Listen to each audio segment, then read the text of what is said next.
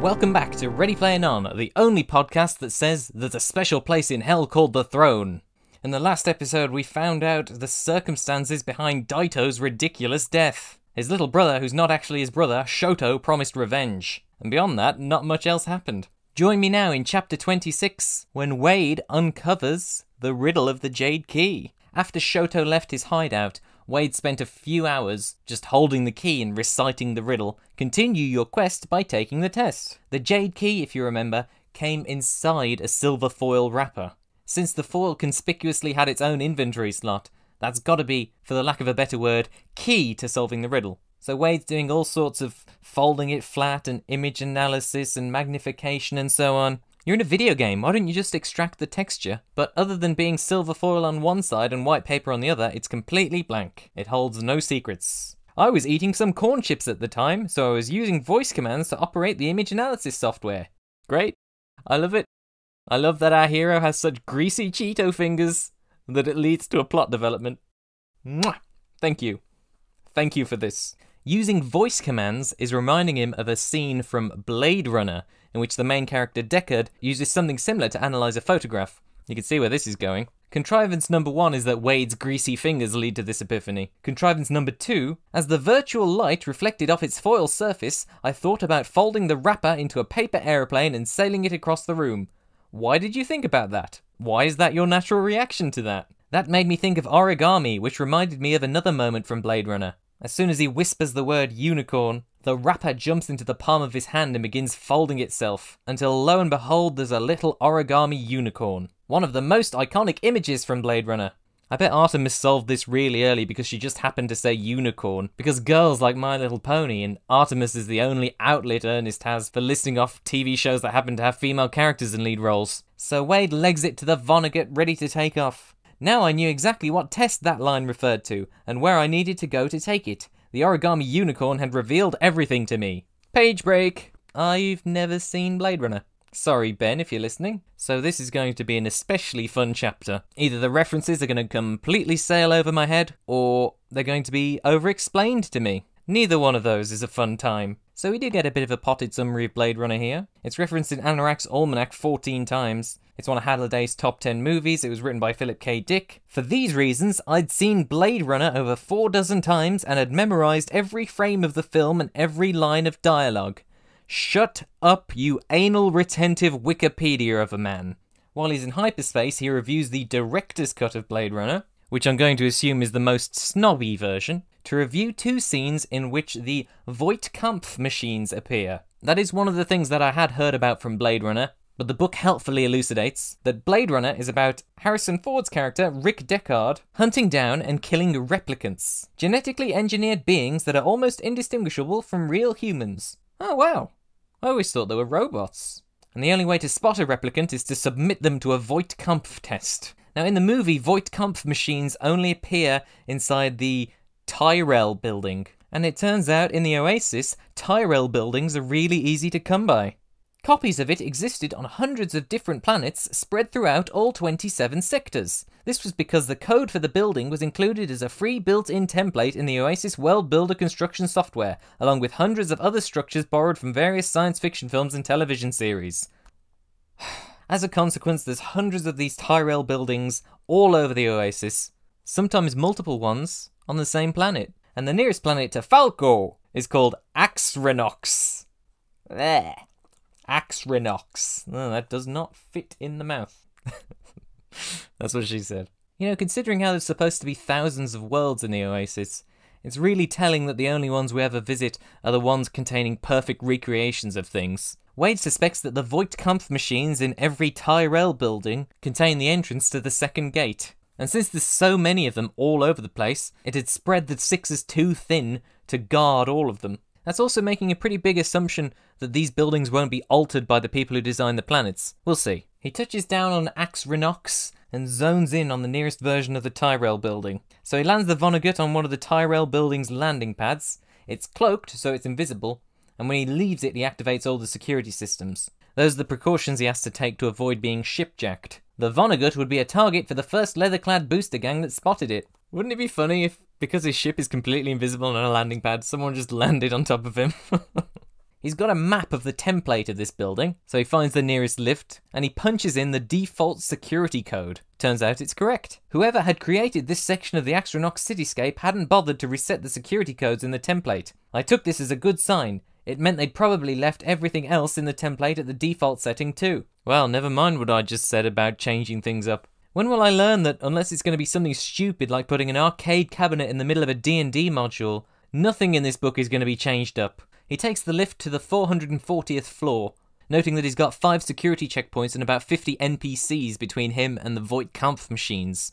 The shooting started as soon as the elevator doors slid open, like Blade Runner meets the Matrix. I had to kill seven skin jobs before I could even make it out of the elevator car and into the hallway. Skin jobs? That's what my boyfriend calls my. The next 10 minutes played out like the climax of a John Woo movie. One of the ones starring Chow Yun Fat, like Hard Boiled or The Killer. So again, we know exactly what he's going for here because he spells out what he's going for in the text. I switched both of my guns to auto fire and held down the triggers as I moved from one room to the next, mowing down every NPC in my path.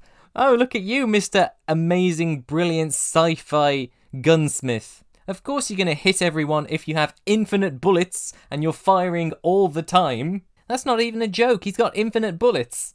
New clips teleport into his guns every time the old ones finish. My bullet bill this month was going to be huge. Shut up.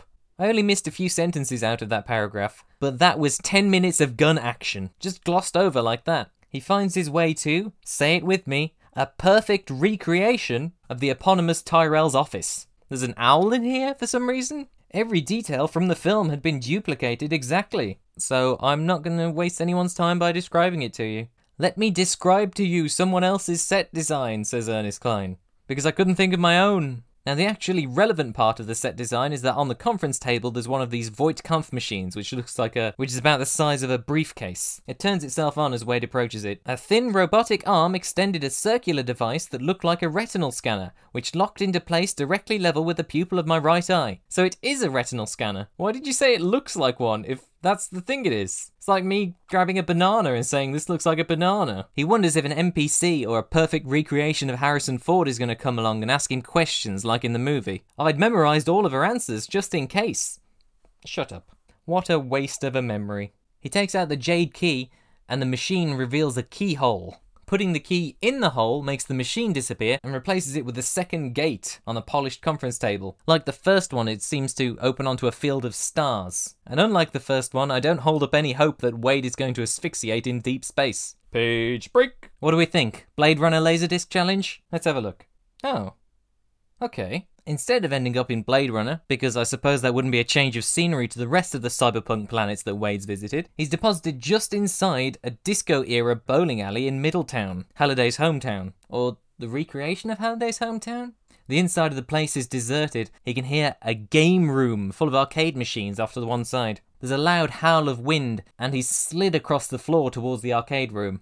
He must be wearing those bowling alley shoes with no carpet friction so he's been sucked in through the arcade room. I spotted a dozen video games inside, all from the mid to late 80s. List of video games, but I could now see that my avatar was being drawn toward one game in particular. It's Black Tiger by Capcom. I wonder if it's going to say it. Put a pin in right here. Beep. So the game's monitor is a swirling vortex and it's sucking everything in. Wade grabs onto a nearby joystick and he's lifted off the ground. But he's grinning. And you know why? I was all prepared to pat myself on the back because I'd mastered Black Tiger long ago, during the first year of the hunt. Of course you bloody did. Before Anorak's website showed the scoreboard, it showed a looping animation of him crafting spells and mixing potions and buggering owls and whatever. In said animation, there was a black dragon painted on the wall. When the hunt started, there was much debate in the Gunter community as to what the black dragon could represent, but Wade is smirking to himself that he always knew what it meant. Black dragon was the name that Black Tiger was released under in Japan, or as the book puts it here, Buraku Dragon. For God's sake, please stop spelling out things from katakana. They clearly mean the words that they are. It's not Supaidaman, it's not Urutora Man, and it's not Buraku Dragon. It's Spider-Man, Ultraman, Black Dragon. I know you think it's exotic, but at the end of the day, what you're putting out there is Japanese man speak funny. Black Tiger was an important game to Cline, I mean Halliday, because he used to sneak out to the bowling alley and play it when his parents were screaming at each other. His words, not mine. And Anorak's Almanac, I don't know if we've seen this before, I'm sure I would have remembered. It's quoted here like it's a Bible passage. AA 23 colon 234. Ernest Cline's self inserts book is quoted here like a religious text. That's a lofty ambition, Ernie. The quote is For one quarter, Black Tiger lets me escape from my rotten existence for three glorious hours. Pretty good deal. Truly, this is an epic religious text. So Wade, the clever dick, used all this to master Black Dragon like Halliday had done, to the point where he could reach the end on just one credit. Now it looked as if my foresight and diligence were about to pay off. Why are you saying that as if that's a new thought to you? This has happened with literally everything you've turned your hand to. Wade is unable to hold onto his joystick for much longer, and he's sucked off into the Black Tiger dimension. After everything goes black, presumably because it's loading, he finds himself in a narrow dungeon corridor. He's in a 3D remake of Black Tiger, but not 3D in the free roaming sense. To his right hand side, there's a black void. Like, if he were the arcade character, that'd be the fourth wall. His avatar has been transformed into the hero of Black Tiger, a muscular, half naked barbarian warrior dressed in an armoured thong and horned helmet. And he's kitted out like the character as well, including a mace gauntlet and throwing knives. And it's the 30 foot vertical leap that finally tips him off that he's inside a video game. I wonder how many employees Halliday had to lay off after the crunch to get this thing coded. Sidebar, but Wade says the game's 50 years old. It's closer to 60 by my count. He could just be talking offhandedly, but it's still a thing I'm pleased to correct him on. He says he's going to need a different set of skills now compared to playing a 2D side scroller, but I'm sure he's going to get through it charitably easily. The first gate had placed me inside one of Halliday's favourite movies, and now the second gate had put me inside one of his favourite video games. While I was pondering the implication of this pattern, a message began to flash on my display. Go! Are you not going to say it? Are you actually not going to say it after all this? Right, this is the pin. Pin still in. Pin will be out in a second. So the go flashes on his display, and there's an arrow in the wall next to him telling him to proceed forward. I stretched my arms and legs, cracked my knuckles, and took a deep breath, none of which are really relevant, and only make him seem cool to a non existent outside observer. And then, yeah, he runs off into the game. Page break. Pin out, we're examining this pin. So, what's the significance of Black Tiger? Well, it's certainly one of Ernest Cline's favourite games. But you know this? And this? Are both from Black Tiger. And why did I choose those as the music? Well, the title, Ready Player One, comes from Black Tiger. It is a fundamental building block of this book. And after every perfect recreation and over explanation, I'm just in disbelief he's not dropped the title in. Self reference? Oh, that's a bridge too far. I, I cannot get a complete handle on Ernest Cline, even after all these pages. As one might expect, the bulk of Wade's adventure takes place during a page break. It plays out a lot like Black Tiger meets first person Mario. That's a YouTube video with 23 million views, so don't come to me if you haven't heard of it. Just for variety, we substitute this book's catchphrase, perfect recreation, for faithfully recreated. This sentence is a little odd to me actually. Halliday had faithfully recreated every detail of Black Tiger's 8 level dungeon. So is it just one dungeon? With 8 levels in it? I don't know, all I know is how to pirate Capcom soundtracks. And as with a lot of these video game playing descriptions, Wade fails at a first hurdle and then finds his groove and succeeds non-stop. We get a list of the types of enemies he's encountered, and how they drop coins that he can trade into wise men to upgrade his items. These wise men apparently thought setting up a small shop in the middle of a monster-infested dungeon was a fine idea. Boo! I've never known a thing about Black Tiger before today, but I can already tell that that's a hack comedian's joke about it. That's the hipster version of Chewbacca not getting a medal at the end of Star Wars, which I remind you was in this book, and I did not rip into it as much as I should have done. There's been no way to quit or pause the game, so his only options were either complete it or die. Unfortunately, Wade managed the former, that first hurdle he fell at was the first dungeon boss, the Black Dragon from the website animation. That boss fight took all of his extra lives, so he completed the remaining levels on just one life. That doesn't seem relevant to anything, so the specificity suggests it's some sort of Ernest Cline anecdote. Just under three hours later, he's finished the whole game and is teleported back into the arcade room in front of the cabinet. The ending of the game starts to play out, but then something different happens. One of the wise men from the dungeon appeared on the screen with a speech balloon that said, Thank you, I am indebted to you. Please accept a giant robot as your reward. This is a 12 year old's idea of something cool. Using the joystick on the cabinet, Wade can navigate through icons of different pop culture robots. There were several robots I didn't recognize, but most were familiar. I spotted Gigantor, Tranzor Z, the Iron Giant, Jet Jaguar, the Sphinx headed giant robo from Johnny Sokko and his flying robot, the entire Shogun Warriors toy line, and many of the mechs featured in both the Macross and Gundam anime series. What was that he said? He'd memorized the name of every last goddamn Transformer and GoBot, and yet he doesn't mention any of them here? Wow, did I just call out Ernest Cline for being a fake fan? The gatekeeping in this book is starting to rub off on me. Eleven of the robots of the selection are greyed out with a big X across them. Wade presumes they've already been claimed to other people who've come through here before. That's interesting to me because I thought that they'd somehow faked the scoreboard, but no, they actually have beaten the second gate. Each of the robots has its own stats. Wade seems to be considering which one's the most well armed, but in the end he goes for the one which he thinks is coolest, which just sums up the whole thing, doesn't it? I stopped cold when I saw Leopardon, the giant transforming robot used by Spider-Man, the incarnation of Spider-Man who appeared on Japanese TV in the late 1970s. What was I just saying about Spider-Man? I discovered Spider-Man during the course of my research and had become somewhat obsessed with the show. I know! You already said this several chapters ago. I put in a clip from it and everything. He picks Leopardon and a 12 inch tall replica of it appears on top of the cabinet. It's added to his inventory, but it doesn't have a description or instructions. With that out the way, the Black Tiger cabinet starts playing the credits. I respectfully read each of the programmers' names.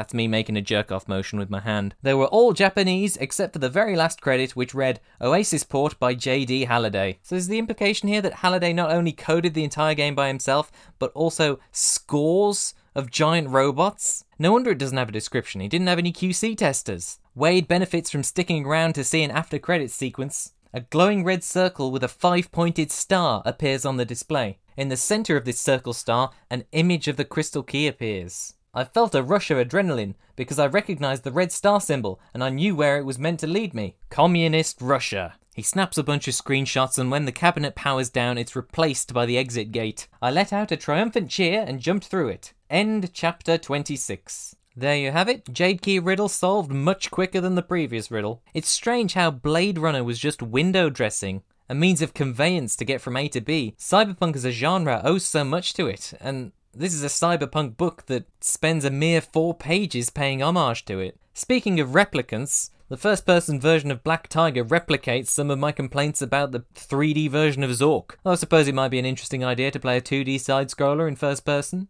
I rate that shrug out of 10. That's a much more loving homage to what's clearly Ernest Cline's favourite game. But all things considered, it doesn't spend much time in the game world. That crack about the wise men clearly didn't get enough laughs at his last slam poetry gig. Again and again, these chapters prove to be just a means of conveyance for Ernest to tell you about the things he likes. Next time, consider writing a guidebook or a memoir, because I've had enough of the fictional trappings. If you want more from someone who spends too much time reinterpreting other people's famous works, you can follow me on Twitter at The Last Gherkin, or follow the show on Twitter at RPN underscore pod. Watch with subtitles on YouTube, The Last Gherkin, or get an MP3 download at thelastgherkin.podbean.com, unless I refuse to pay hosting money to Podbean by this point in time. Join us next time as, God willing, we reach the point where we'll have 100 pages left. This is the home stretch.